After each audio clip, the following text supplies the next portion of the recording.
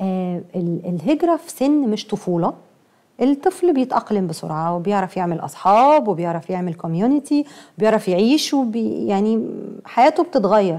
لكن لما أهاجر وأنا زوجة وأم حتى لو كنت في أوائل العشرينات وشابة صغيرة آه عملت أصحابي وعملت عيشتي وعملت دنيتي لسه هغير عاداتي وهغير صعوبة ده إزاي مريتي بيه إزاي؟ عيطت كتير. لا طبعا ما بتبقاش سهلة وبتكافحي بتكافحي جدا. بتكافحي على حساب نفسك وعلى حساب نفسيتك آه، لأن انت هنا بتختاري أصحابك. انت هنا آه، بتكبري مع أصحاب معينة وبتختاريهم. لكن انت في الغربة بتجبري على بعض الأصحاب بتجبري على بعض الناس. إلى حد ما بتنقي اللي ما يناسبك ويناسب ظروفك وظروف أولادك. لكن بتحاولي طبعا بقدر الإمكان إن انت تتأقلمي و...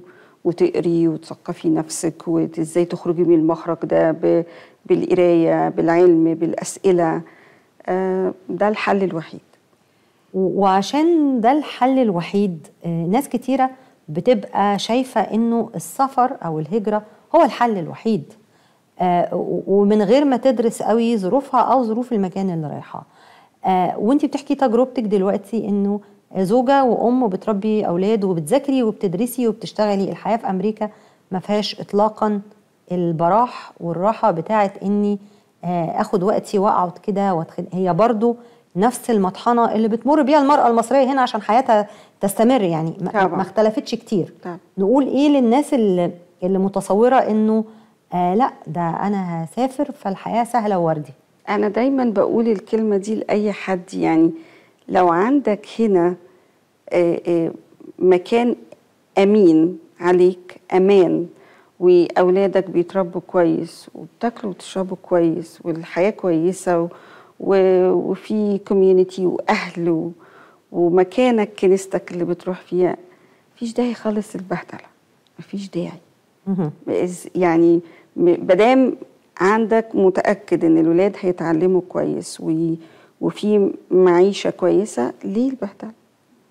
أصل البهدلة دي مش بالسهل. ما بتاخدش منك كده بس وقتك اللي بتذاكريه وخلاص. أنا مش بقول الناس ما تسافرش طبعا دي حرية شخصية بس الغربة ما هي السهلة. محتاجة تدرس كويس جدا جدا. وحديثك عن ال- ال- البهدلة أكيد مرتبط إنه بتشتغلي في مجال العمل مع المهاجرين.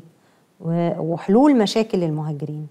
فبالتالي بتشوفي مهاجرين من جنسيات مختلفة وبتشوفي حالات مختلفة فأكيد آه، النماذج اللي قدامك دي بتقول إنه آم، مش كل حد يصلح إنه آه، يعيش بره ويحقق نجاحات بره وي- طبعاً، وي- ويجد آه، منفذ يعني. يعني حضرتك بيروحوا مثلا دكاترة أو ناس خلصوا دراساتهم مهما كانت إيه هنا ويرجعوا من البداية يعني لأن أنت مش ممكن هتروحي هناك كدكتور. لازم تدرسي تاني تدرسي سنين.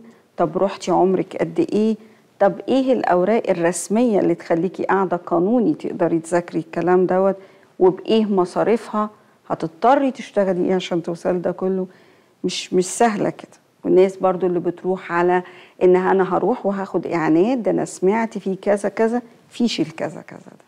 آه. في ناس بتعتمد على فكرة الإعانات طبعا. على تصور إنه ما هو مش هيقدر يعيش عمره كله على الإعانة بشكل أو بآخر. لا مش مبدأ أصلا يعني. يعني دي فترة معينة لأجل إن أنت آه، بتذاكر وراك حاجات معينة لسه ما عندكش انكم مفهوم وهي اتعملت لكده. إنما في ناس بقى بتبتدي تستغلها إن هي طب أنا هشتغل أخد كاش عشان ما بينش مش عارفة إيه.